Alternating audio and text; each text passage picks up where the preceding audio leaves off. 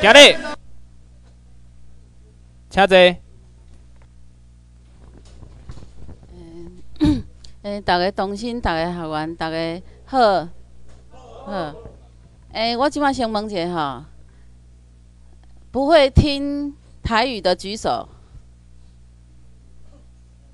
台语的，好好。啊，袂晓听华语的举手。毋好学袂举手哦。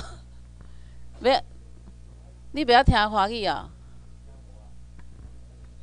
啊！你昨呢？昨你敢听有？昨嘛有讲华语啊？中文呐，那是中文。应该是听有啦吼，因为即边吼，即边咱来的有，即边来的有较侪人袂晓听台语啦，吼，所以我是咧想讲吼，我 掺杂落去讲啦，吼，啊无有个人听无嘛，吼。好，我我今天要讲的题目哈，就是怎样做一个领导者。啊，首先哈，我要恭喜大家哈，恁会当来参加这个台湾民政府上这个课哈，我真正爱甲你恭喜，因为这个课哈，伫全世界哈，伊是算作顶级的课程啦。所以，尤其是安秘书长因学这个国际法甲战争法这吼，这甚至伫即马美国。啊！即马甚至伫伫美国吼，嘛无介济专家会晓讲这，所以按台湾吼有即个荣幸会当来学即个国际法吼，这将来就是按台湾一个介好的的武器，吼。啊，但是呢，我们有这么好的法理，我们需要有很好的领导者，所以大家今天来上这个台湾民政府的课哈。你就是也要学好怎样当一个领导者啦，因为你有很好的东西，你没有人去管理领导，你就是不会用，好。哎，后表啥问题？伤细声去，啊无换一支，这支个人较细声哦。安尼有吼，好。啊，所以我们今天哈。要教你怎样当一个领导者，这个跟教育程度没有关系。好，你你如果是小学毕业、国中、高中，这个没有关系，因为我们各个阶层都有一个管理者嘛。因为我们的管理阶层有分 A 级、B 级、C 级，就像一个大数原理这样子。哈，那你如果是 A 级的，你就是哈要制定政策的人。诶，这这个东西怎么做？我们要来制定政策，然后 B 级的要遵循这个政策一下来，B 级的这个主管的阶层，他要遵循怎么去执行呐？啊，他执行的时候再交给 C 级的，那 C 级的就是做基层要基层怎么去打底，所以将来我们民政府上来之后，你在不同的阶层。他的管理是不一样的，但是他有一个共同点，你要成为一个很好的领导者，你这个心很重要，就是每一个人哦，心中要有一把尺啊，这个尺就是说你的道德观，因为像现在哈，为什么政治全世界的政治都生病？因为他就是人在处理嘛，那人发生的问题，政治就发生问题。所以我们要有一个很好的政治素养，就是人的这个心，他的道德感要好。像以前，我们就是说，什么事不能做，我们就不会去做，对不对？但是现在哈，就是媒体他会说，只要我喜欢，有什么不可以？好，这个事是不对的，他也可以把它解释成对的，然后就可以做。这个就是他的道德观在改变，那改变的话会影响人心嘛？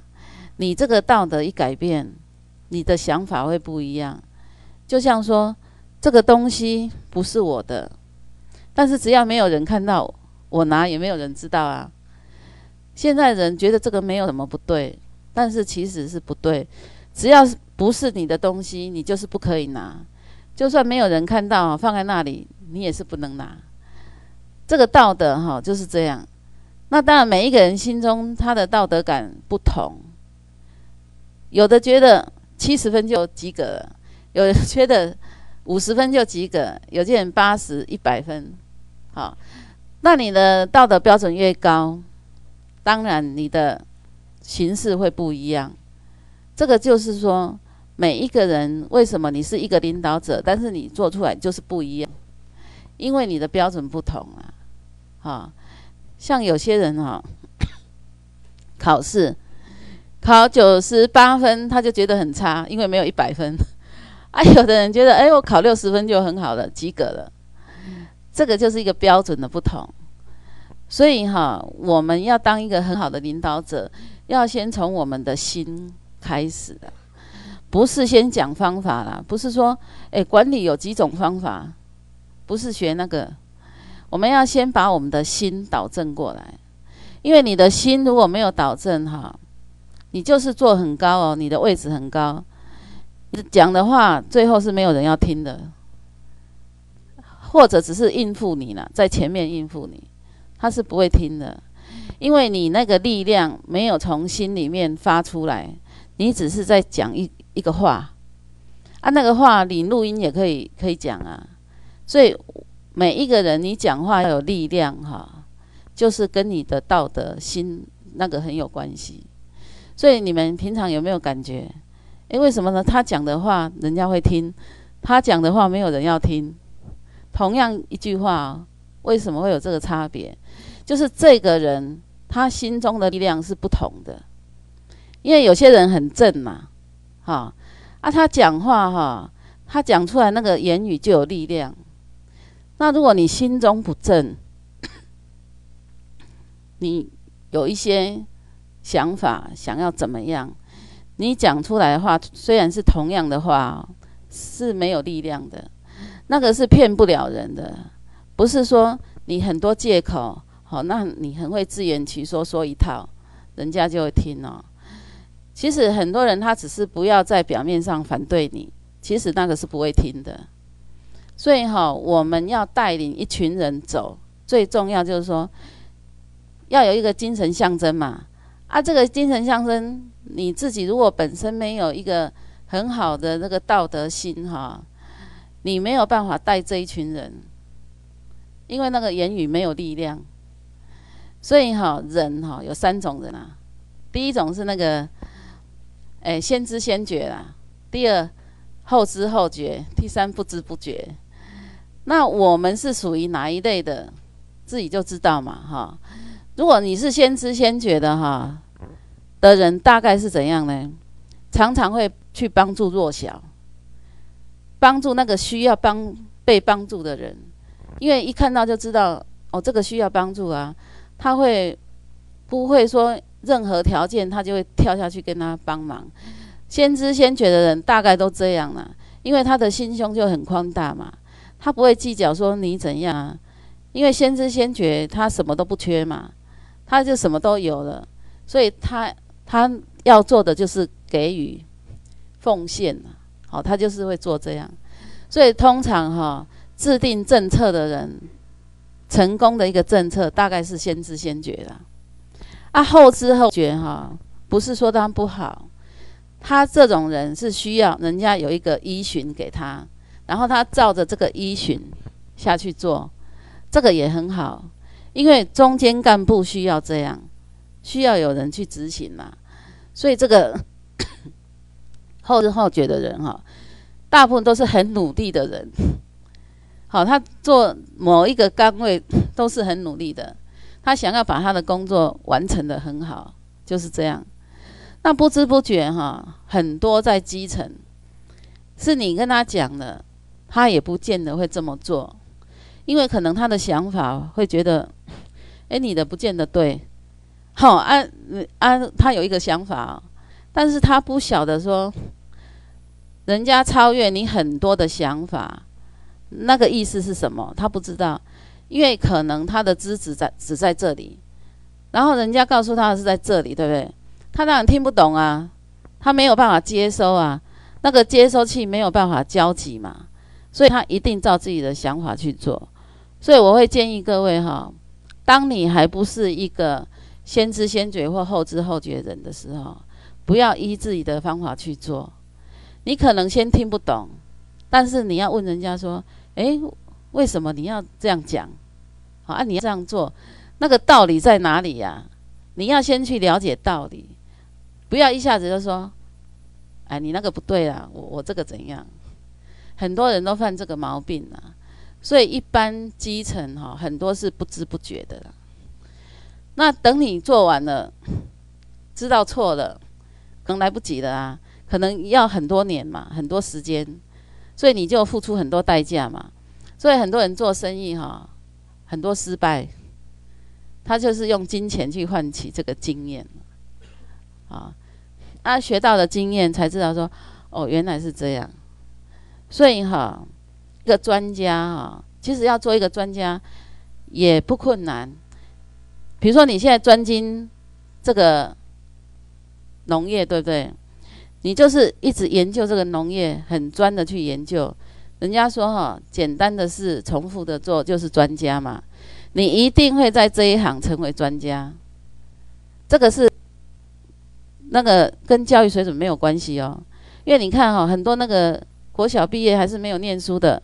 他也很会耕农啊，好，因为他用他的经验，在这一生当中来做嘛，所以那个经验很重要啊。所以哈，一个领导者，他所具备的条件虽然有这三种人呐，但是哈，后天可以培养的是什么？第一个，你的见识要广，比如说媒体、报章、杂志，或者你能够。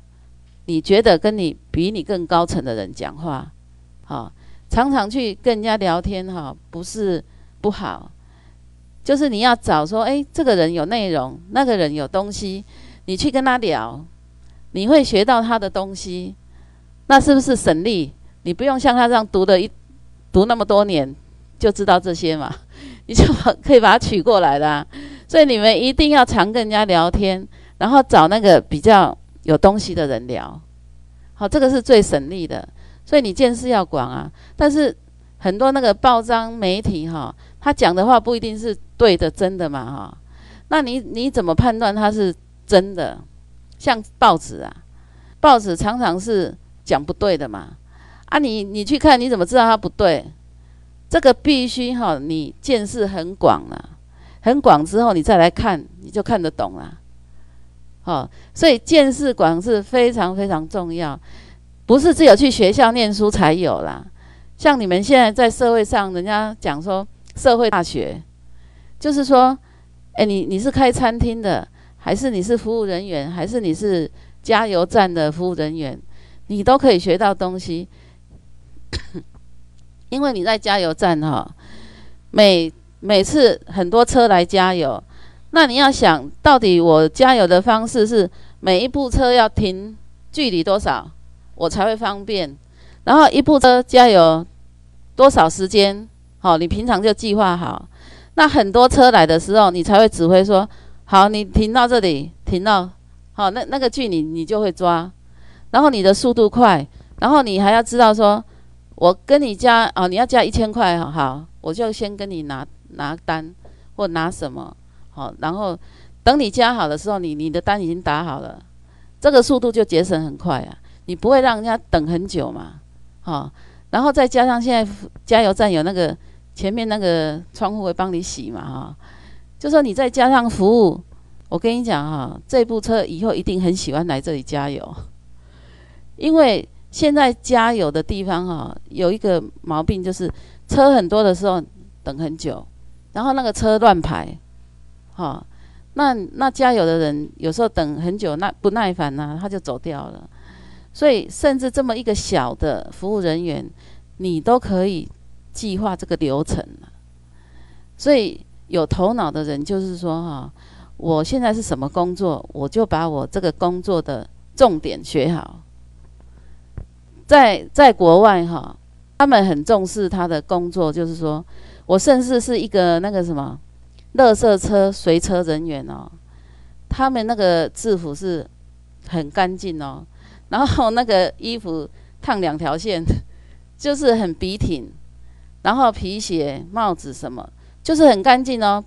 你不会看到你的制服哈，有这个脏的脏的，因为你你是垃圾车嘛，可能就会有脏嘛。那表示说他都很干净，然后他又是在垃圾车上，表示他很尊重他的工作。所以，我们如果每一个人都很尊重他的工作哈，我相信哈，我们政治很好管，非常好管。那像我们在台湾哈，你有没有看到垃圾车？他那个随车人员的制服是怎样？还有你那个在外面那个垃圾桶大丢垃圾那个桶啊，你看是不是一团乱？哈，这个是人民的素养啊。所以我说哈，不管我们是政治也好，做生意也好，你如果那个人素养不够哈，就是产生问题啦。你只要你光是靠管理者是没有用的。好，因为管理者他他的一个命令下来要怎样怎样，那只是一个命令，但是你不是在这个范围之内哦，你是不会遵守的。所以为什么哈？你看一些先进国家哈，它都是法法法摆在前面，我们是情摆在前面，他们是法理情，而我们是情理法，好。所以法摆在前面的的国家，哈，它的管理会比较有一套制度啦。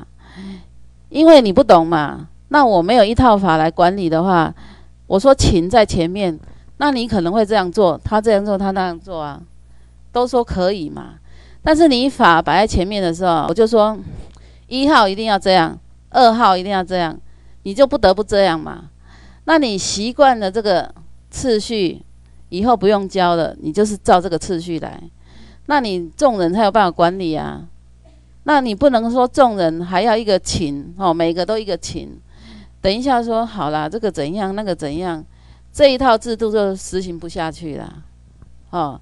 所以一个管理者哈，他也是从基层做起来，也也一定要了解这样的一个道理，他才有办法说管一群人知道你们干嘛。因为各位将来都是在四千位之内，我们训练干部哈，你一定会在一个单位当当那个头，啊，你带一群人你怎么带？你本身如果没有调到这个轨道哈，你没有办法带这一群人啊。那你不一定要是博士、硕士、大学，不一定要，但是你的心呢符合这个条件，你会讲话吗？你会跟他讲说。哎，这个一号要先做，次序要这样哦。啊，因为你的心很对嘛，你已经知道一号要这样做啊。然后他跟你讲一大堆理由的时候，你还是说一号要这样做，那是不是很容易？好，你你不用跟他谈很高深的学问呐。就像哈，我们讲企业好了，像王永庆国小毕业，张荣发也没有读到博士。但是为什么他们企业能做那么大？因为他们都有符合领导者的这个条件了。好，所以我不知道各位哈，你们像你们现在是做农的，或开公司的，或者是做什么都好。你你如果现在要整治你的企业哈，你要先调整你自己，把你的心哈调到符合这个条件。你在看事情的时候，制定方法那个才会对。要不然哈，你会 一下这样好，一下那样好，你会拿拿不定主意的。所以，我们见识广之后哈，再来就是你的心胸要宽大，因为哈，跟你共事的人哦，想法一定跟你不一样。啊，你要怎么样把你自己跟他哦结合这个在一起？要双向沟通嘛。啊，你沟通的时候不要不要吵架。也不要生气，你你要先让他讲说啊，那你为什么这样想？啊，你怎么想？然后一直把这个距离哈慢慢调，哦，让让拉近，那你们就会有一个交集。如果万一没有交集的时候，采用的方法是什么呢？你先退一步，好，反正你永远先退一步哈，这个事情后面会解决。为什么？因为人哈就是这样，当你不坚持的时候，他才会放下心啊，慢慢的想。因为很多人在争执一件事情的时候，就是为了反对而反对啦。好，你就是不能逼我行啦。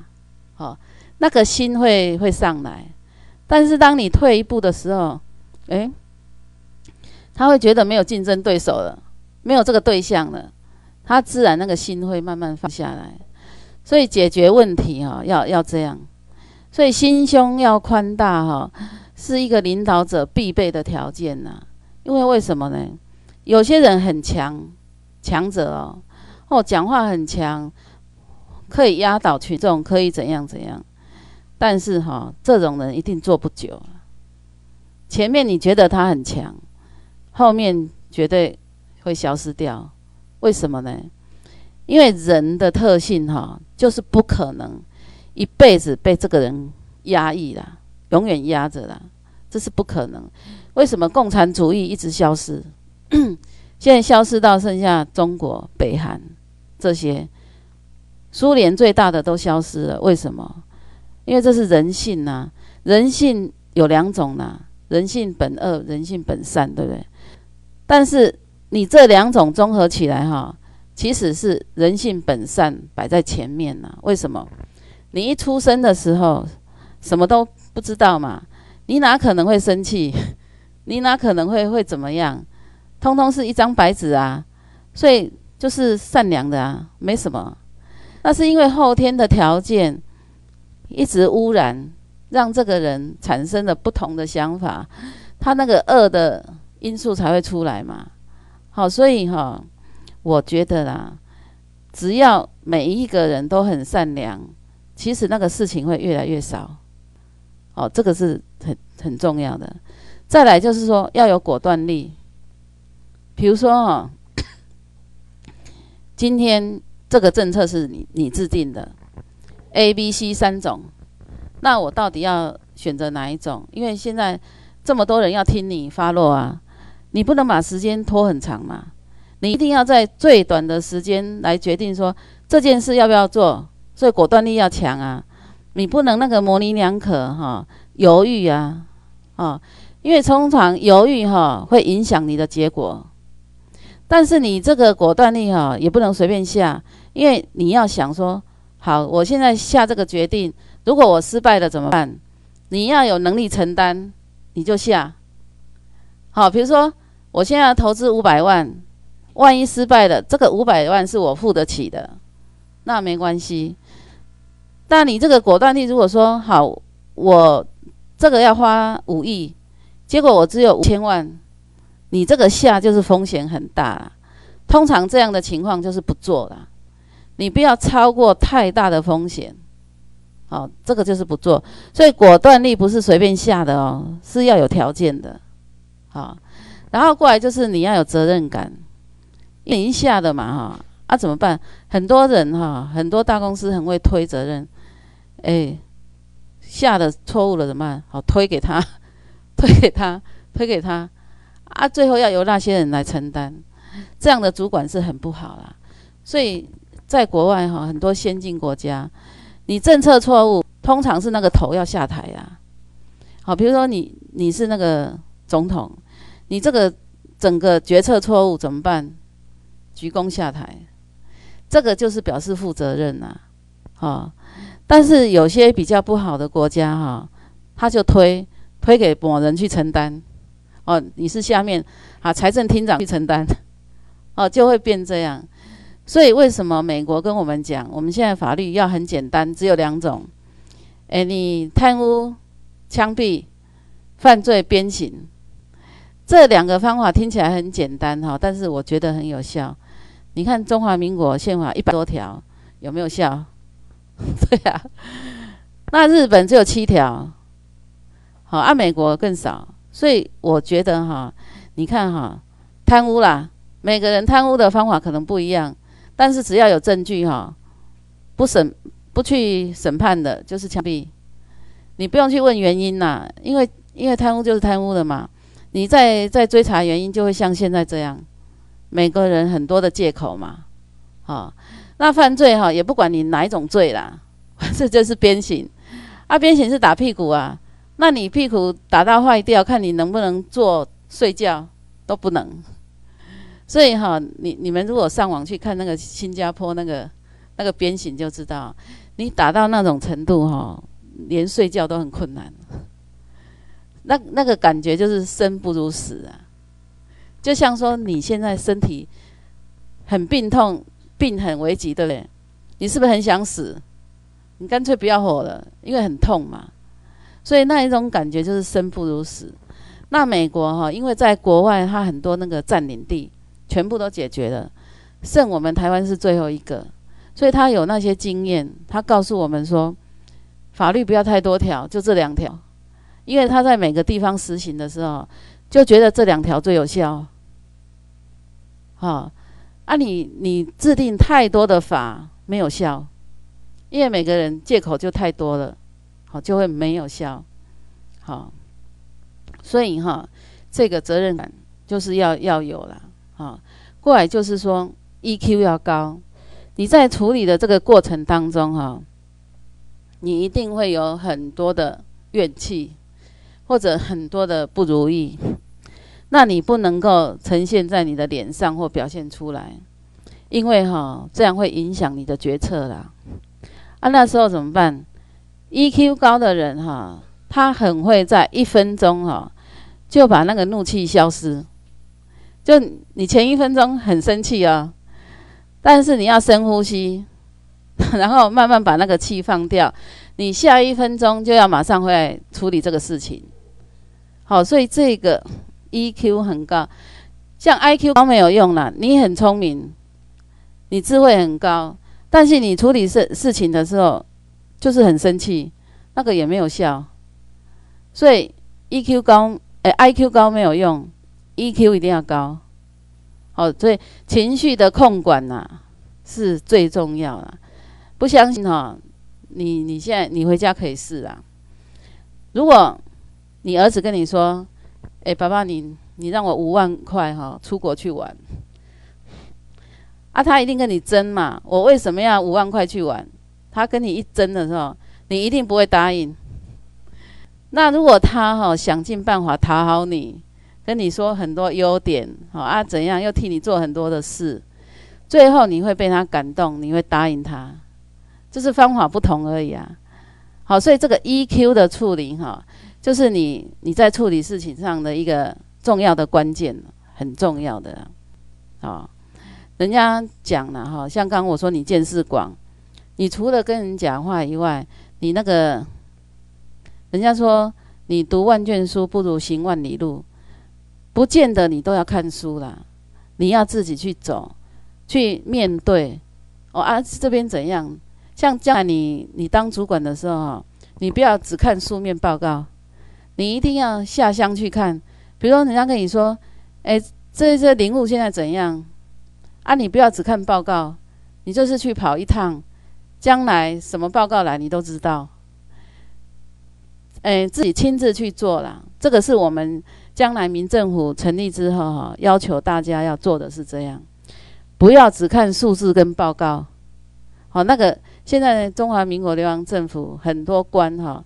那个数字是做出来的，那个报告是抄来抄去的，所以那个没有什么好看。所以将来你们如果分发到什么单位哈，资料只是参考，你一定要下去去求证说是不是这样，那政府才会换嘛，要不然头脑还是一样啊。为什么我们现在哈要求的就是说你要有爱台湾的心就好，没有要求你其他。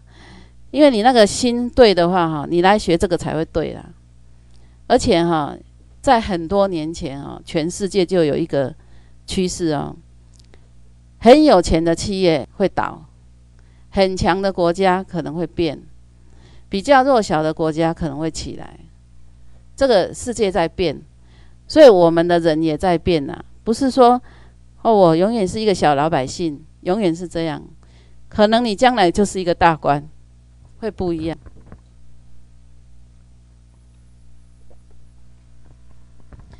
啊，所以哈，如果你现在的状况啦，我还要担心说我的食衣住行到底可不可以哈？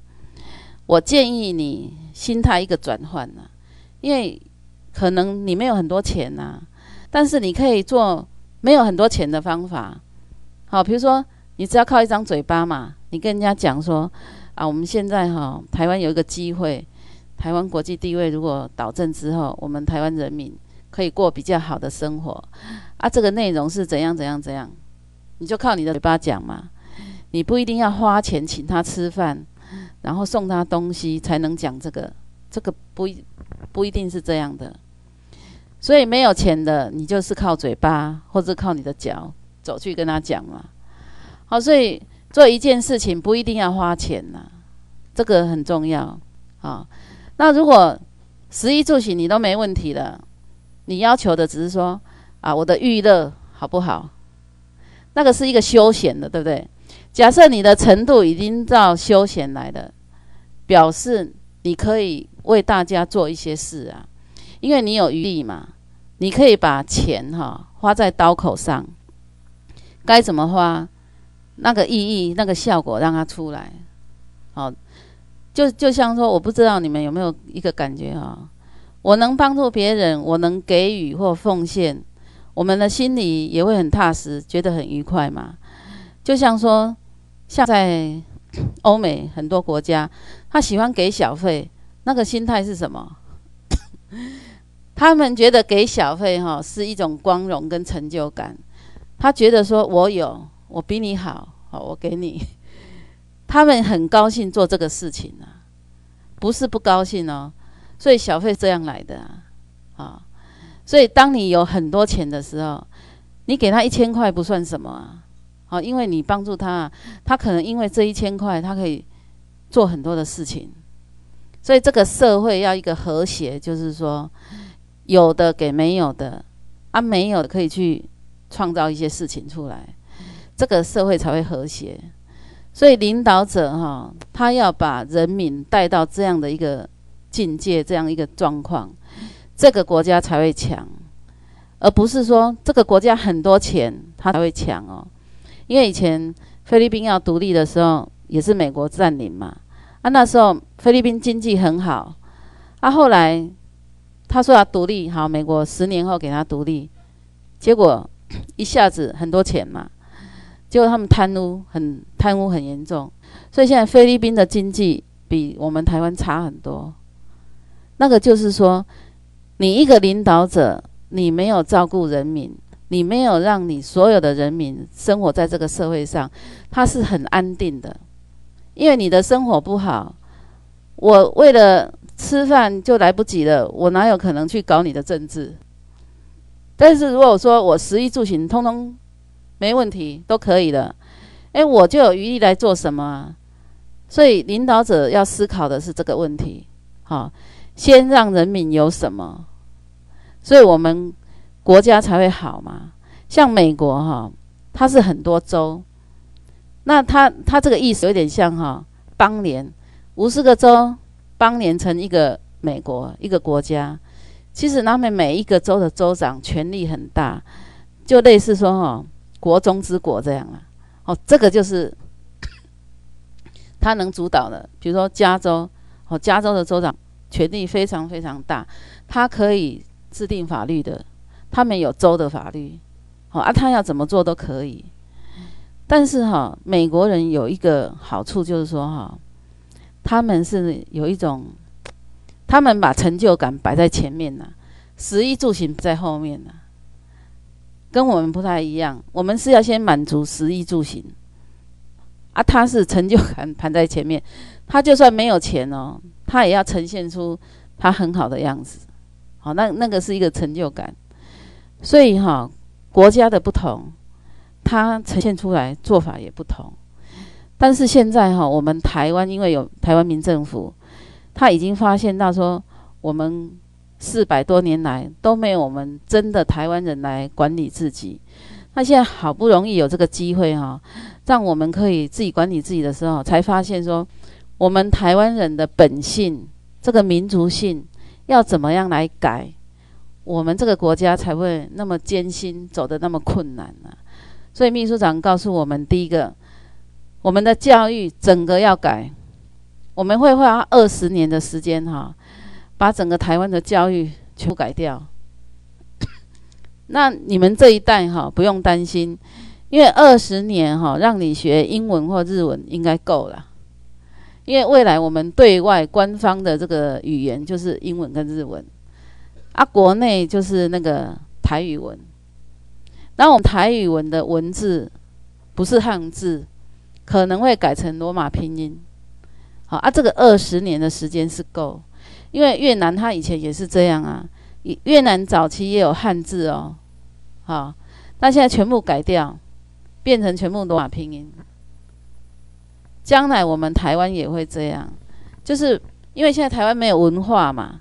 那我们为了要创造我们的文化，就是把我们在这里土生土长的台湾人，到底你呈现出来什么比较适合你的那个个性的东西呀？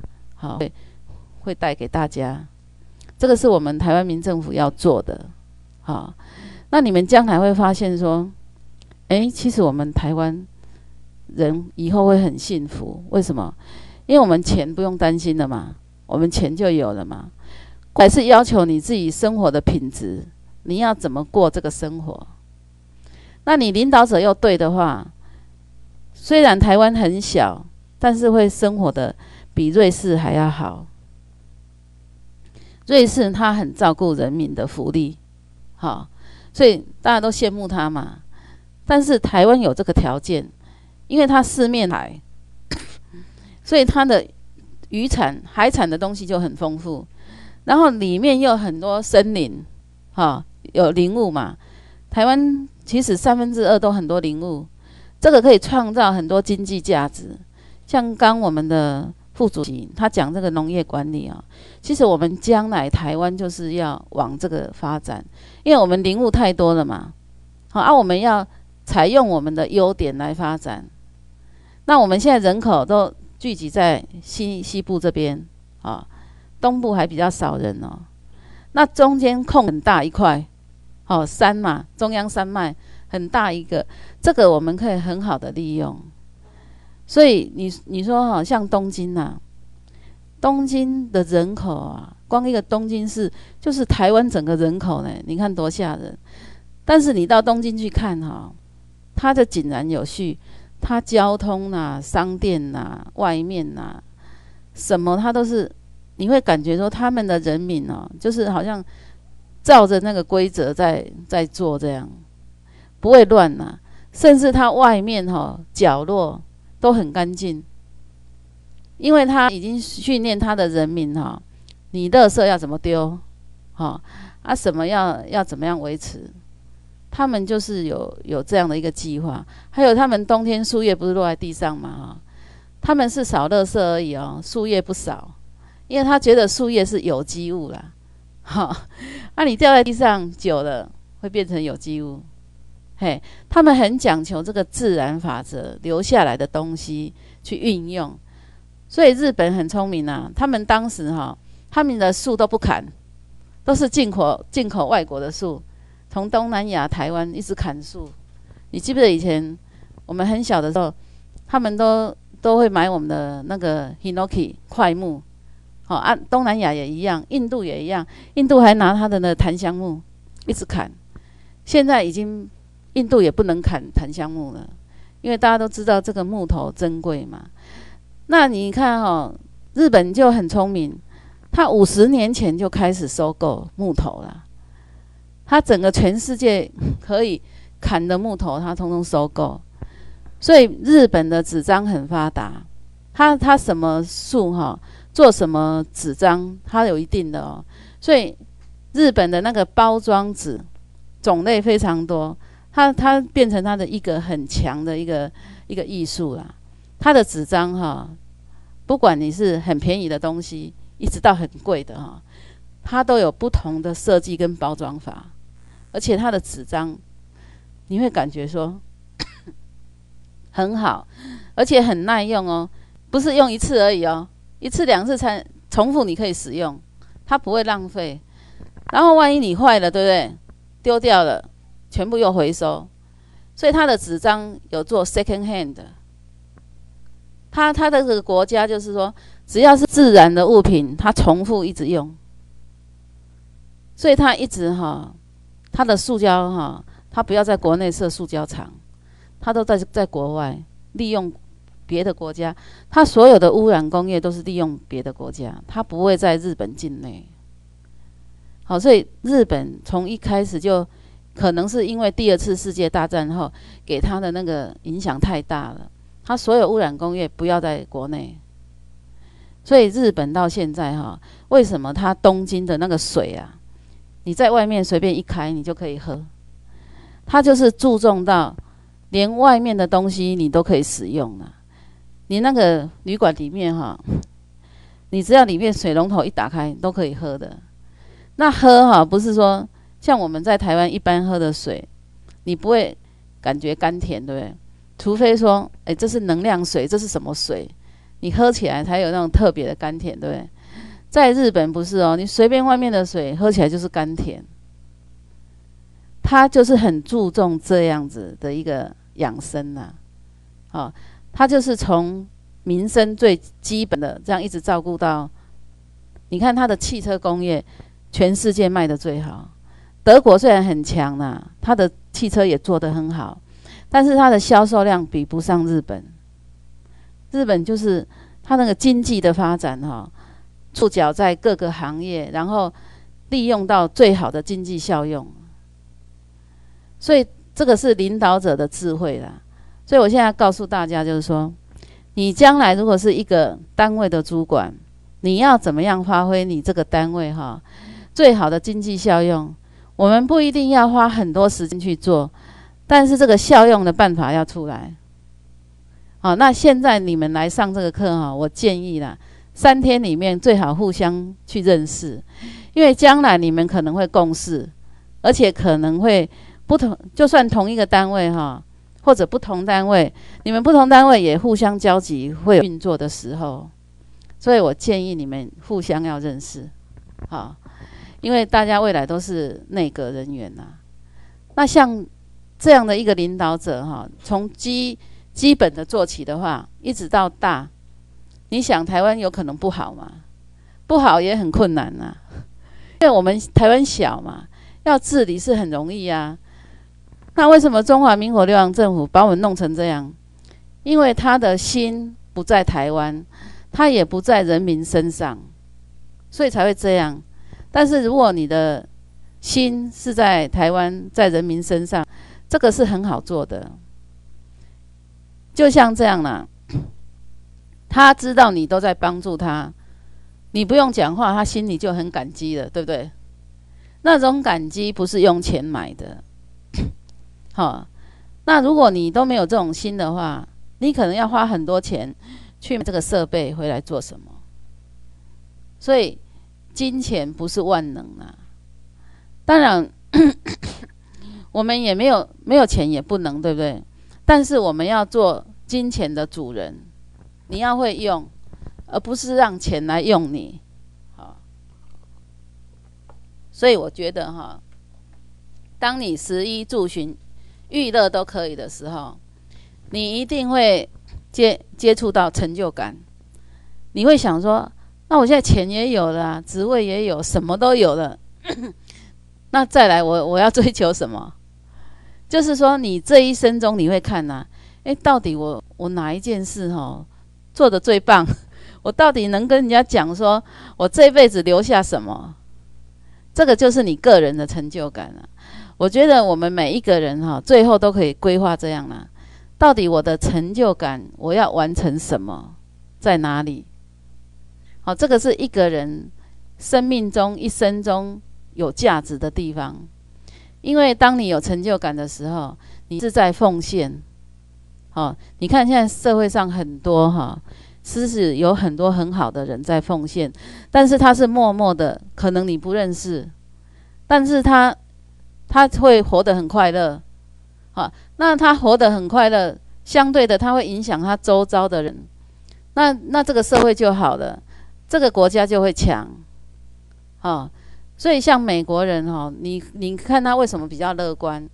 因为他们一开始的时候就是比较富有嘛，好，他的美国的整个的那个整个的资源都比较丰富，所以人民无形中就是，哎，我我什么都有啊，好，所以他比较不会为了食衣住行在那边苦恼，他就会比较豁达。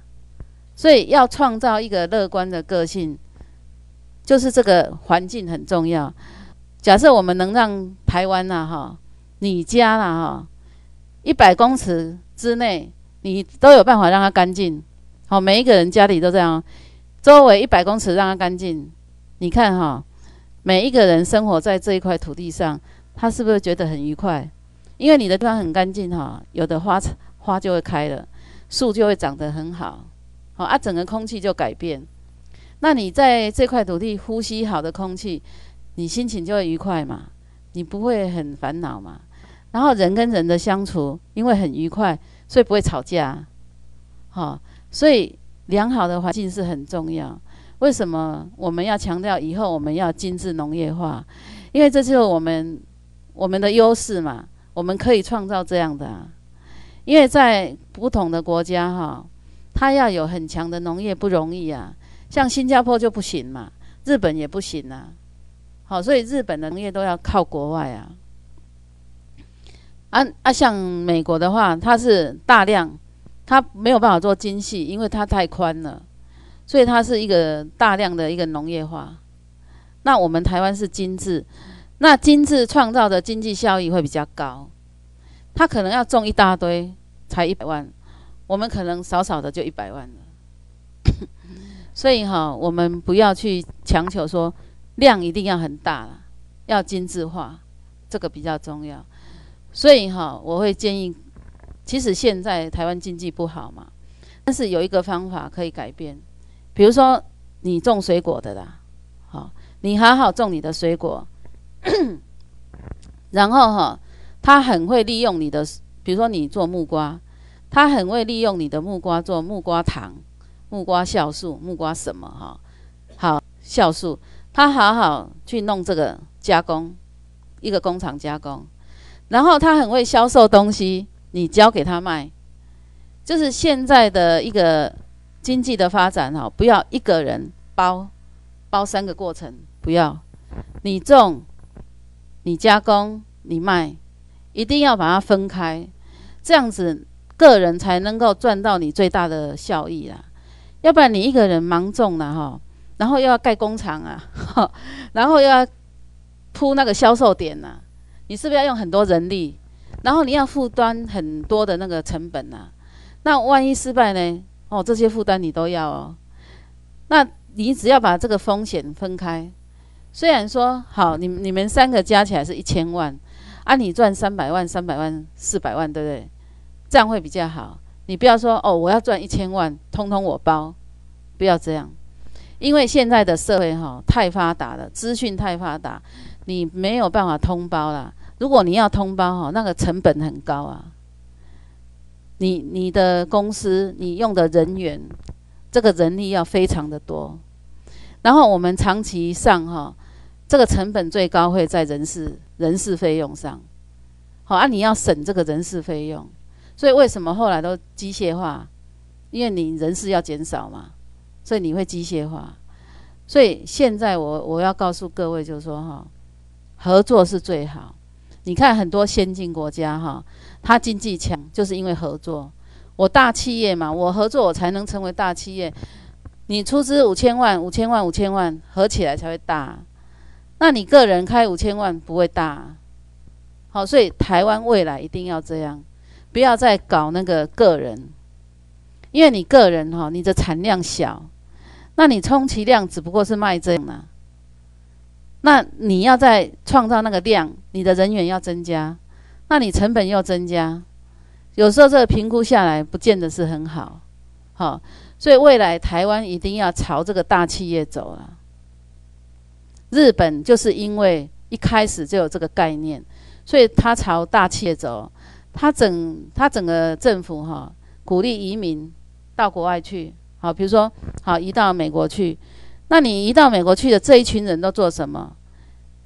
有一半是开超级市场的，有一本一半就是电脑的，一半是那个汽车的。他全部鼓励这样的精英到国外去开，然后呢，经济好之后吃下当地最好的企业，比如说当地企业最大是 IBM，对不对？我整个大楼给他吃下来。那我在国外，你 IBM 代表你美国很大公司，我吃下来了，表示我日本企业在美国也是一个很强的啊。好，日本是用这样在培养他的企业啊。所以他到每一个国家都是这样，都是整体的、集体的、集体化。那我们台湾比较个人主义嘛？那为什么会个人主义？就是说，你那个你的视野不够广呐，你喜欢包起来做，好，这个是我的领域，我我就是这样，我 包起来这样，包包，你没有想到说哈，这个合起来。会创造多大的利益呀？当然，合起来有一个困难点，就是说这些头要怎么结合？这个就是又是我们谈到领导的问题。好，所以企业里面你是董事，你也是董事，董事，那你们要合起来怎么合？这是法嘛，定契约嘛。我们出资多少？那我们应该怎样怎样怎样？一个律师来嘛，好，律师来签嘛。好，把它写得很详细，然后里面要有制度嘛，会计制度什么制度订立啊？不是，不是你找你自己的人来做啦，除非你的人是可以胜任这个工作，好安排没关系，要不然我们都是要交专业，交给专业做，你们只是董事，好啊，全部交给专业来做，然后你们只是负责开会，好啊，这个决策要怎样，啊，全部是专家来做。然后你请的这个业务经理是专家嘛？他帮你赚钱啊，那你只是在家里数钱而已嘛。哦，董事要做到这样嘛，全部合起来出资，全部请专业做。那我们专业人员他才有工作做嘛，因为专业人员他并不是不一定有很大资金，但是他有头脑。那你很多钱，你不见得有那个头脑，所以这两者要配合。那这个国家才会强，美国、日本就是这样，他们就是专业跟出钱的是分开的，分开合作的，好，所以大家现在要有一个公式啦，好，合作的条件就是要这样，一定要放下心胸，要放下，才有办法合作。啊，比如说啊，哈，我们很想做什么，但我们都没有钱。怎么做？比如你也没有钱，你也没有钱，都没有钱啊！我们想要做一个贸易，要怎么做？我跟你讲哈，如果你没有钱，你一定要有头脑，你就要做头脑的工作。如果你也没有头脑，我建议你就不要这样做，你就是要在人家的公司底下做，因为哈，各尽你的能力去做你的工作是最省力的啦。不要说哈，我这两者都没有啊！我要去开公司，结果一定开不成嘛，一定失败啊！因为我没有那个头脑，又不够那个钱，这一定会失败。所以很多人做企业哈，他没有考量他自己的条件是摆在哪里的，他他就下去做了，然后会说啊，没关系啊，到时候跟银行搬钱。那 你银行搬钱，万一你没有赚到那些钱，你也没办法还嘛。好，那就会又造成一个问题呀。所以我觉得最好的方法就是说，各司其职啊。你的位置摆在哪里，你就坐那个位置，那你的人生也会比较快活一点。不要硬说哈，你要一定要去坐哪一个位置，那个很累啊。好，就像说一个总统，如果你的条件不到总统的位，那个你去做他哈。你一定很难睡觉。你外表虽然说好像很好看，哎，我是总统，我摆出来每个人都听我的，其实内心是很痛苦的，因为你决策做不了啊，啊，你那个东西也不懂，那个也不懂，你怎么领导？你一定整天睡不着觉，然后就会受人家随便摆布了。这个讲说怎样，那个怎样怎样，好随随便哪都依你们。所以你没有那个条件，不要坐那个位置，真的会很辛苦，最后还是会下台啦。啊，如果是有那个能力的人，你也不要担心，终有一天你也会坐那个位置，因为那个是强求不来的啦。哦，这个上天雨生让你生下来，哈，为什么你是这样？他就已经分配好了嘛，你应该做什么？其实人的一生都差不多啦。我我这一生来，我应该做什么？就是差不多这样。那我只要照着这个安排好的轨道去做，是不是很顺利？我不要哈去改变轨道，我一定一个方程式要变这样，那个就会很辛苦。好，所以我们现在很多人哈生活不好，然后不晓得要怎么改变哈。你要先回归到这里，先考量说你的条件在哪里，那你有办法。调到哪里去？好，你你先考量这个，然后再把你自己摆到那个位置去，你就会很轻松，就会很好。像哈以前哈，我是做生意的，以前我也赚很多钱，每个月大概千万的，但是我的耗费很大，因为员工很多嘛，那我成本很高嘛，我要付出很多的成本嘛，对不对？每天都为了这个钱哈，就是很烦恼。钱很多来，也看到很多出去，就是在那边白忙一阵，很辛苦嘛。那后来我会想说，那我我干嘛那么辛苦？我自己赚那么多钱，自己都没有在用，就是这样来这样去，就就这样一个循环这样子。所以我后来我就会考量说，那我要过这样生活吗？后来我就不要了。我就把我的企业缩编嘛，缩小。那我觉得说，让我自己的生活轻松 轻松一点，不要那么辛苦。因为以前我工作一天十六个小时啊，十六个小时平均两三分钟要接一通电话啊，所以哈，就讲讲到这个时代都不行。啊，后来我就觉得说。人不一定要这样过生活，你赚很多钱又怎样？你一个人也不可能吃那么多啊，啊，也不可能用那么多啊，哈，所以我们应该哈摆对位置就好，好，这啊，如果说你能力能赚很多钱的那个也很好啊，你就是去赚那么多钱，因为你可能会去做很大的事情啊，那个也是可以啊。哦，所以每一个人要考量他的条件呐，这个是很重要的。好，啊，所以当一个领导者哈，不要强求，但是每一个人都有机会，因为只是说你当的是哪一种而已。比如说你是当 A、B、C，哪一种都可以，啊，你就把它摆在对的位置。所以哈，你这一次我们上完这个初级班之后。二十三号有一个高级班，我建议你们要上。上完之后，我们这个资格就完了，对不对？然后你可以去找你们州长，好，因为州长里面哈，他有一个组织表，比如说州长下来是副州长，副州长下来有什么发言人呐、妇女会啦，哦，还有这个参议院的啦，还有三十个厅长。那三十个厅长，每一个厅长是做什么？你去了解。那你到底是适合哪一个？你可以自己跟州长去讲。那州长他会去考量嘛？说，哎，你你就是要到回到各州之后呢，你就要参加他们的聚会，然后大家互相了解。哦，确实你你适合做这个，然后他就会帮你排这个嘛。好，那如果好，假设你排在财政厅长，那你就可以开始了解，先网络抓出来，现在的财政到底是怎样。好啊，美国怎样？日本怎样？如果美国、日本那个英文你看不懂，日你看不懂，对不对？你可以请人家翻译，翻译你就看得懂了嘛。好，因为你们现在哈在我们最慢两年嘛，那在接手之前，你先去具备这个样条件会比较好啦。不要到时候，因为到时候我们一定会有一个集训嘛。那集训你就你如果不是这方面的专家，训练起来就很苦啦。所以你现在就要开始，这个很重要。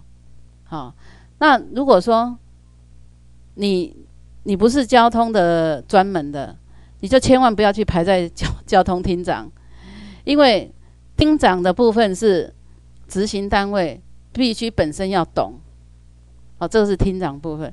那参议院参议员的的条件就是说，最好要四十岁以上了，因为人生的历练经验有的嘛。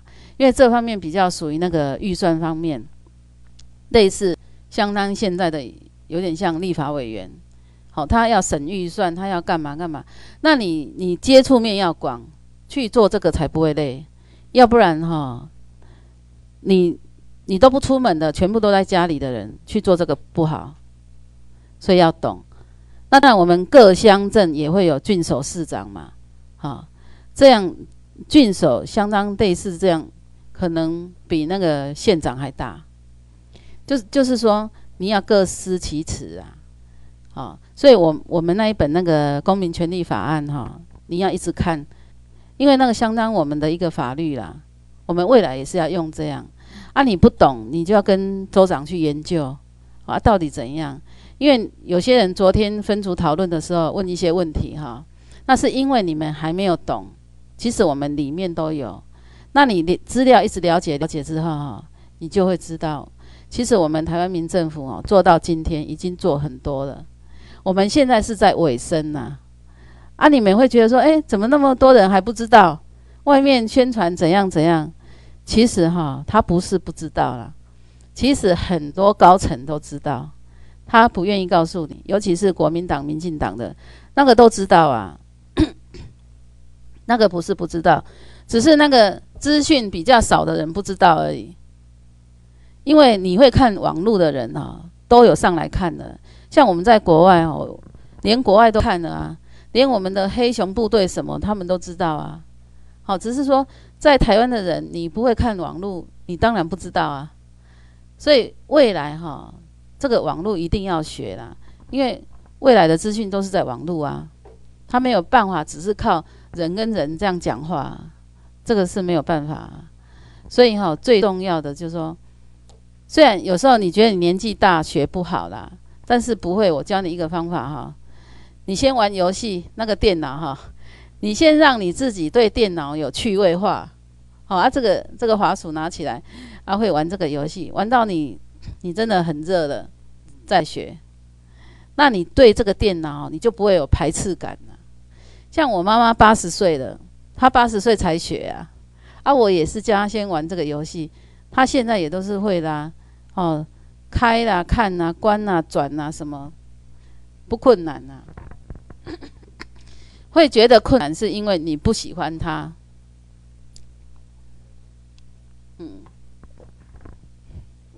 所以哈，这个非常重要。那刚我们讲到哈，我们当一个领导者。你一定哈接触广，就就像通才一样啦哈。你这也懂一点，那懂一点，懂一点。这是第一点。第二点，你要会用人。比如说我的单位，我要用那个一个教育厅长，啊，我到底要找谁当？这个你自己要去判断。那你你没有直接认识这个教育的人才，对不对？但是呢？你可以把风声放出去，然后跟很多人去谈，因为跟很多人谈，表示他给你资讯嘛。那你要从这些资讯当中去了解，说我找谁比较好，这个就是用人呐。因为哈，不见得你都要会，但是你要很会用人。那很会用人哈，你要很会听话。什么叫很会听话？比如说我跟你讲话。我们两个讲了半小时，你能不能知道我的优点、缺点在哪里？那你就要判断要不要用了。因为不是听他讲很好的话，不是哈，他一直跟你讲，诶，我什么多行又什么多行多行，不是听他讲哦，是你听他讲完之后，你来判断这个人讲的这个真实性几分，这样去判断。然后如果你不能判断，你必须再找第二位。第三、第四、第五，就一直找，这样找到最后，你做一个结论了哈。你觉得说，我跟谁谈，我马上直觉就觉得，哎，是这个人，你就要往那里去了。啊，你如果说找这个人，人家一直跟你推荐说很好很好，结果你谈了半天，你很难下决定，就先先不要用。好，如果对这个人很难下决定的，暂时先放着，不要用。所以你在决策的时候，你要考虑这样。哎，这个也很难下，这个也难下，很难下，都要放着，不要轻易去下决定啦。因为你轻易去下决定，哈，必须这个后果是你可以处理的啦。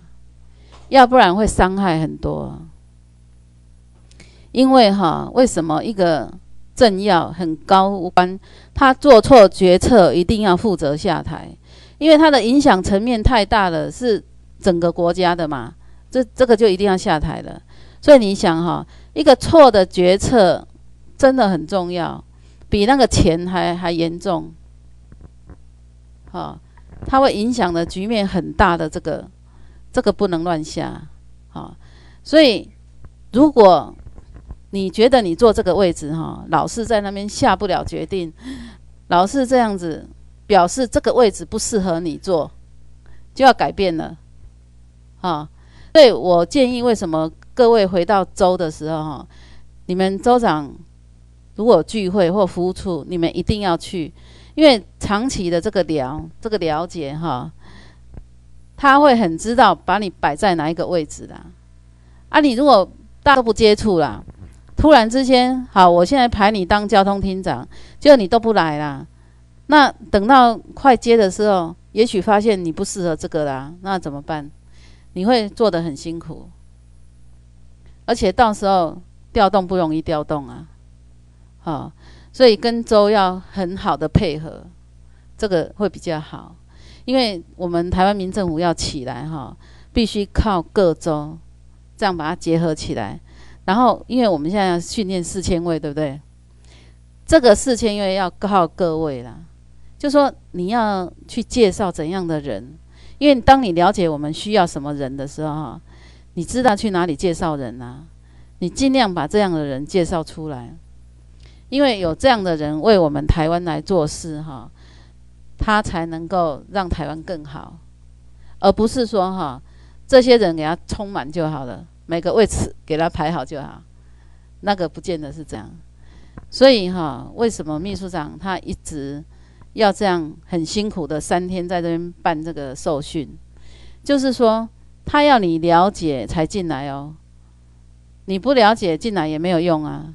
所以我们每一个将来的官员都是因为很了解我们的法理。才进来的，要不然很简单嘛，你花个钱，报纸广告一下，四千位就来了嘛。那为什么我们不要这样做呢？因为那个不是他的了解跟自愿，那个是花钱买的，哎，就不一样啊。那以前国民党、民进党他们就很会用这个啊，哦花钱吃饭呐，怎样怎样啊。但是那些人还是还是那些人呐。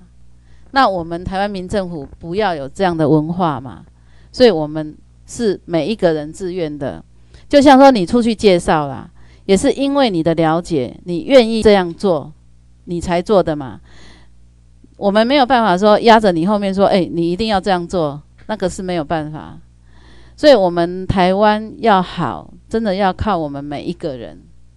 因为我们毕竟哈在台湾，我们已经四百多年来都受人家统治。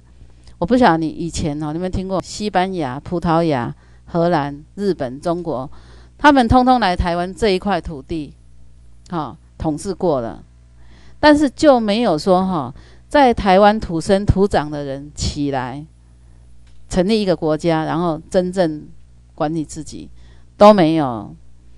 全世界哈，大概就台湾这样。啊，现在刚好有一个机会可以改变哈，我们应该要给我们台湾这样的一个机会。所以四千位，只要我们有那个心哈，其实四千位很快啦。我们现在两千多了嘛，是不是在一半就有了？啊，我们身份证哈，现在差不多五千多嘛哈，我们 最少要四十一万呐。啊，你看哈。虽然是五千，那每一个人哈，如果说再拉十个，你看多少了？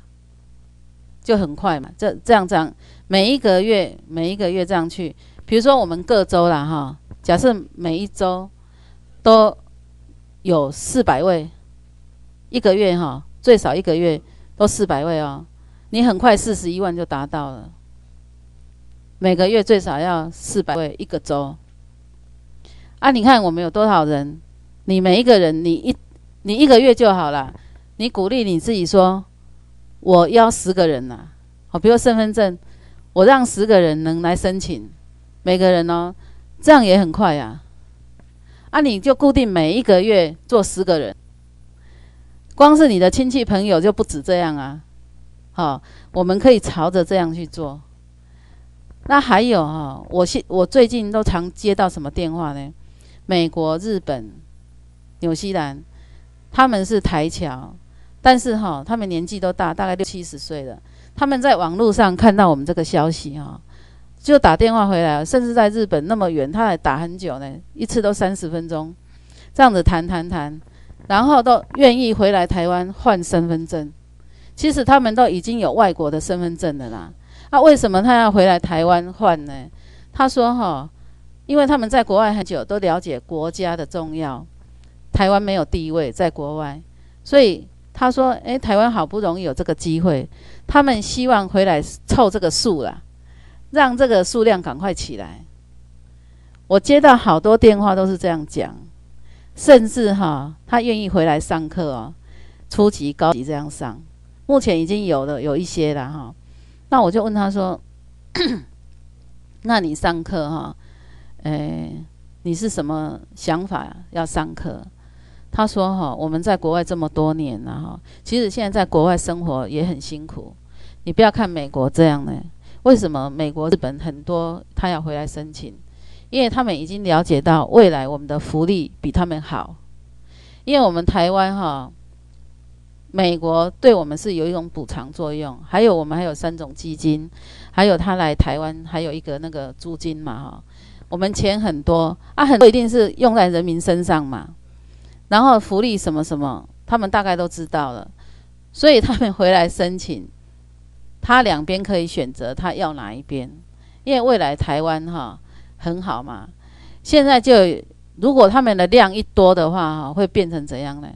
很多人想移民来台湾，会有这个风潮。现在都是台湾移民到国外，对不对？将来就不一样，因为台湾小，钱又那么多，一定花不完，他们就会很想进来。就在那个。在十几年前，台湾经济比较好的时候，哈，诶，股票不是一一万多点的时候，其实，在那时候，国外的经济就有在下坡的啦。